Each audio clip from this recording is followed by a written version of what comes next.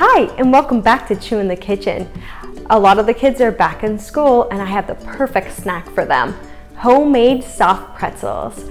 I had a great week this week. I had a, my fan, Dr. Vu Kong, send me some goodies with this bag from High Point Dentistry.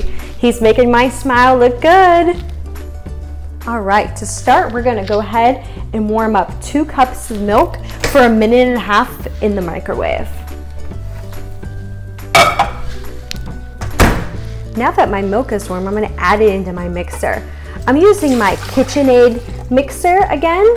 Um, and then I'm gonna go ahead and add in yeast, two packets worth. I'm gonna mix it until the yeast is dissolved. And then I'm gonna let it rest for five minutes. All right, so it's been five minutes. I'm gonna go ahead and add in some other uh, ingredients. So I'm gonna start off with some flour. This is one cup of flour. And I'm just gonna slowly add that on in.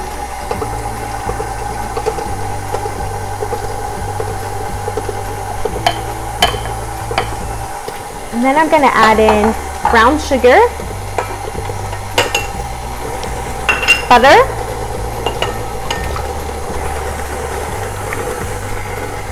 and then some salt. And I'm gonna let that blend up until it's nicely blended. All right, I'm gonna go ahead and I'm gonna attach my dough hook at this time. And then I'm gonna add my three and a half cups of flour. I'm gonna put this on slow and slowly add in my flour. What you want is for your dough to form a bit of a ball and for it to pull away from the sides of the bowl. I have an extra half a cup of flour here just in case I need some additional flour.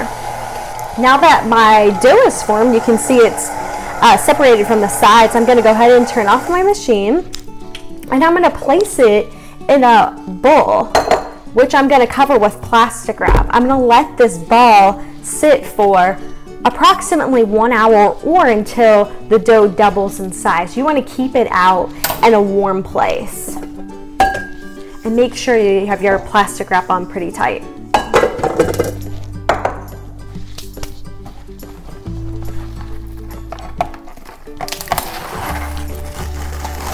All right, I just got my dough out and I have it on this nice uh, floured surface. I'm gonna go ahead and knead it out just a little bit so I can get all the air out of the dough.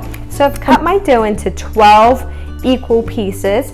Um, I know I'm not gonna eat 12 pretzels, so I'm gonna go ahead and freeze um, these pieces of dough that I don't want. I've set my oven to 450 degrees and I'm just waiting for it to heat up. Here's a little bit of a piece from that. I'm gonna just go ahead and take it and I'm gonna start forming it into a little bit of a uh, snake or a rope.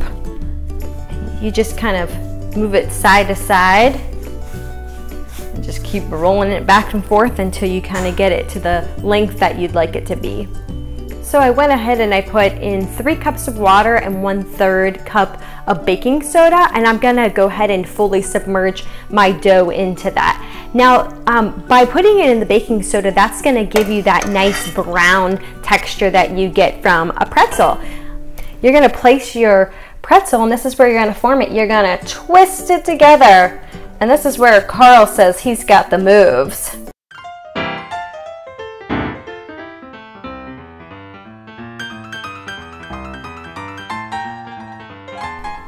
Now we're gonna go ahead and place it in our already preheated oven at 450 degrees for 10 minutes and we'll check on it in a few minutes.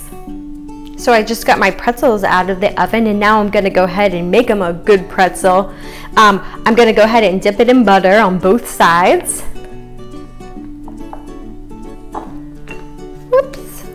And then I'm gonna go ahead and add some salt.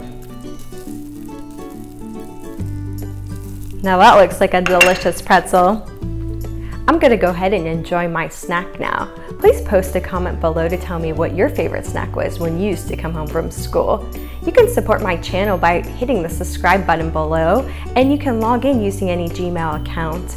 Please follow me on Instagram at Chu in the Kitchen. See you next week!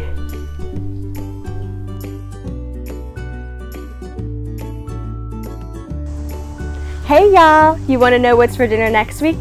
Here's a hint.